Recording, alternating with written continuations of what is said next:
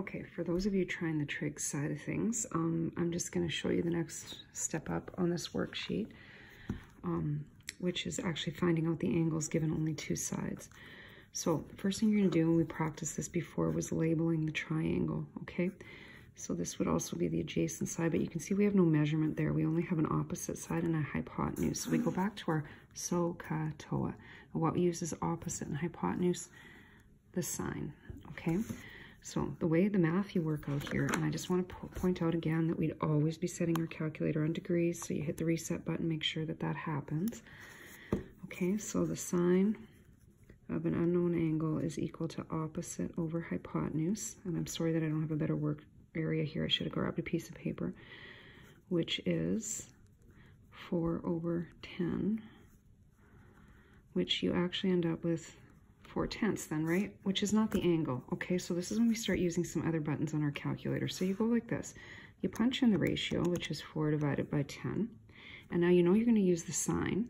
So you hit second function or shift. We're going to do the inverse of sine, which is 23 and, a, and 6 tenths, okay? So I'd be comfortable right now for you telling me that this is 24 degrees. So you found angle S, the unknown angle.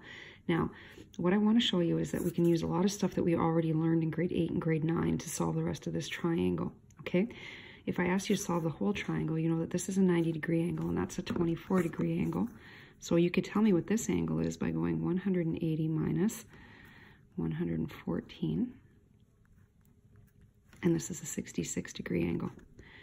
And then you could use the Pythagorean theorem if you wanted. c squared is equal to a squared plus b squared, and you could solve for that. So that's what we're looking for at the very end of all this.